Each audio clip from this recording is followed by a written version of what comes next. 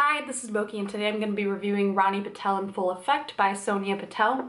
I got this book from Bree Hill, who had been tweeting about it and who later reviewed it, and I found her kind of conversation about it really interesting. I had had this sort of split hesitation slash curiosity about the book based on its summary because on the one hand it's about an Indian American girl um, and, and on the other hand the summary just didn't quite grab me, but based on her, on Bree Hill's tweets and reviews, I was curious about it. Um, so I'm really thankful for her to for sending me the book. So thank you, Bree. I've linked to her review below, which is really, really great. On to the book. Uh, Rani Patel in Full Effects follows the story of Rani Patel, an Indian American teenager who lives in Hawaii with her mom. Rani has just caught her dad having an affair with a younger woman, and this affair kind of serves as a catalysis point for basically a pretty intense year for Rani, who shaves her head, takes on rapping, and gets involved with some boys. My feeling about this book is that it has a number of good ideas, but the execution is weak.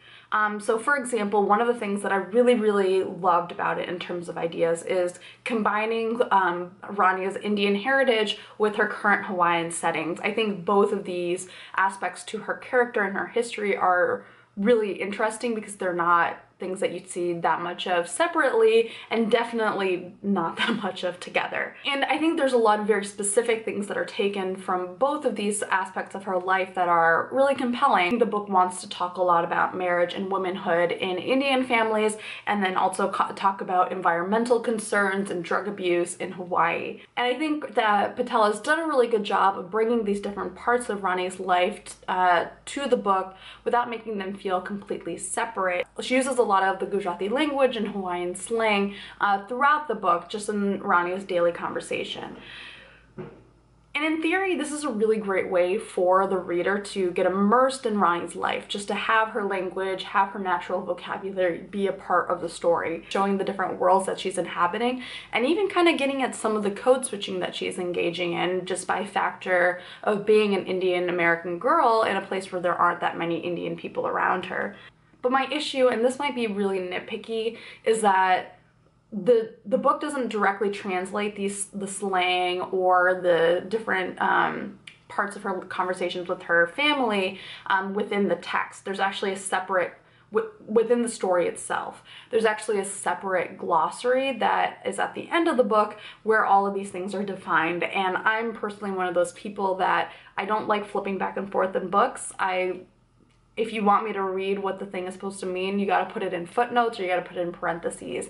And so I think that was what kind of one of those decisions that kind of weakened an otherwise really interesting choice in the book. And I think the the one of the issues that I had the most constant trouble with was the dialogue. It just felt really stilted. Like it almost felt it almost felt like Rani's voice was performative, like a teenager playing bombastic. And and to some extent that is what she's what's happening. Like she is going through a lot of trouble. She's trying to engage with the people around her. So she's almost putting on a personality of being like easygoing and being able to kind of like and playing it confident. So i don't think that that's necessarily inconsistent. I think that's what's hard is there's something about her dialogue or even the fact that you know the book is told from a first person narrative point of view that lacks like something vulnerable about it, which is weird because there are definitely things that are talked about that are very much built on vulnerability. Like she goes into a lot of deep issues and trauma, but there's something about her voice that for me just had a disconnect as a reader. And I I feel bad because I don't have like a specific idea of how to phrase that, but it's just something for me that felt very distant from her. Holy shit, my cat has just been sitting there just like staring. Hey, look who moved over there. Um, so my favorite part of the book by far was Rani's relationship with her mother. And I think it really highlights a tension that is very gender specific when you're talking about first generation American kids versus their parents. I mean, the culture clash that happens when you're a first generation American kid is like, you know, that's gonna happen no matter what gender you are, but I think there's a very specific thing that happens when you're a girl and you're growing up and you're comparing the culture you're growing up in to the one that your parents may have come from. And especially if they're coming from one that's more conservative, with regards to women's roles, it can be really weird to kind of navigate these differences.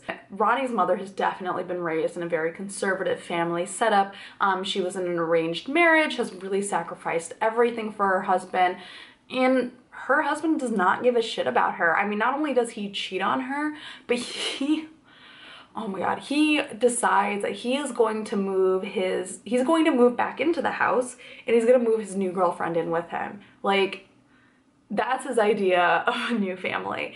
And there's so many other aspects to this as well. I mean, they've moved to Hawaii where there's not the same Indian American community that they had back where they were living on the East Coast. Um, so like Rani and her mother are lacking the same support system that they might have had at that time. There's really this underlying story of Rani's mother having to uh, overcome this trauma that is made even worse because she's separated from people that she is she can be really close to that she really connects to on this fundamental level of having come from the same place. And I really wish that the book had explored this more because, like I said, this was the most interesting part for me. My family is relatively liberal, I think, by, you know, Indian standards and with regards to women's roles for sure. I mean, my grandmother went off to England on her own to study at Oxford.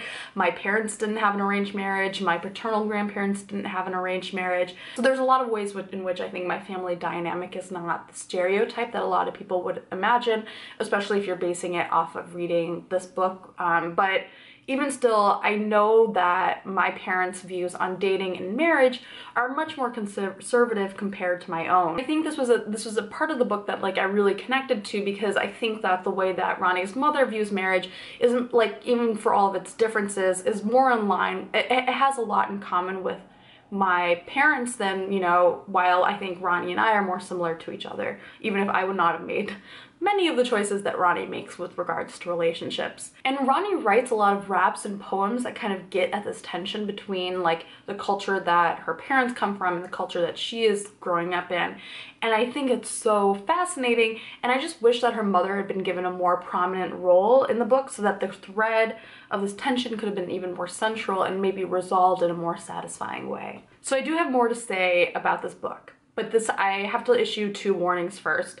Um, a, there's gonna be spoilers in this. I don't I don't know if I consider them major spoilers, just, I mean, they are major parts of the book, but I just don't feel like this is one of those books where, like, so much happens that I'm, like, giving away some major twist. Um, but I am revealing details of the plot that you don't know within the first, like, two or three chapters. The other thing is that these spoilers are going to involve rape, abuse, and incest. So I just want to issue that warning up front um, and just in general for if you are looking at this book and considering it um, and these are sensitive topics for you, just take that in mind. So if you think you'd want to stop watching now, um, my general summation of the book is this. Rani is a unique character in a lot of ways. I think if you're looking to diversify your YA reading, there's a lot of value to her story and the different cultures that she's coming from. But this book was a frustrating read. And as I talked about with Bree, this was a book where like, I didn't want to put it down, but not in that good way where it's like I need to know what happens, but really more of like a if I put this down, I'm not gonna pick this book up again. And I managed to, but it was it was a real effort for me to do that. Honestly, if it hadn't been for the storyline about Rani's mother and the fact that I had been sent this book, I don't know if that I would have been able to finish it. I probably would have DNF'd it. Now on to the both triggery and spoilery parts of this book. So one of the things that I think is pretty clear early on in this book is that it is very boy obsessed. Rani is basically either worrying about her parents' marriage or thinking about boys. Like she is a two-track mind three track if you include a rap. But even that seems to take kind of like a weird secondary place to these main issues. These guys that Rani is interested in, there's something that's like just either majorly off or slightly off about them that makes them potentially not great guys for her to pursue. So the first guy is Mark, who is like in his 20s and interested in a teenage girl. One of those things that's like, ugh, and then the other love interest is Pono, who is more appropriate age-wise, but is in a relationship with somebody else. So there's just this complication throughout the whole thing that's just like mildly messy. I think by the middle of the book though, my feelings about the inappropriateness of the guy started to shift. Um, not in the fact that not like the idea that I would find them appropriate. Like they're still completely inappropriate. Started wondering if this supposed to is supposed to be deliberate. And this is because we find out that Rani was raped by her father when she was younger and she has a number of issues with her relationships with him that maybe carry out to her relationships with men in general. And Sonia Patel includes an author's note at the end to discuss this in the, some, in the context of her work as a psychiatrist. And I think when I got to the end of this book, that really helped for me to like be like, okay, yes, this is the point. And, and that author's note really goes a long way to explain just other parts of the book that are very frustrating, um, such as Mar- Rani repeatedly returning to Mark, who at first is just a shitty boyfriend because he's cheating on her, and then later becomes a total shithead because he rapes her. And the author's note does talk about how victims of rape and abuse might return to someone who has done that to them, um, and, and you know just engaging in decisions that might always not always seem healthy.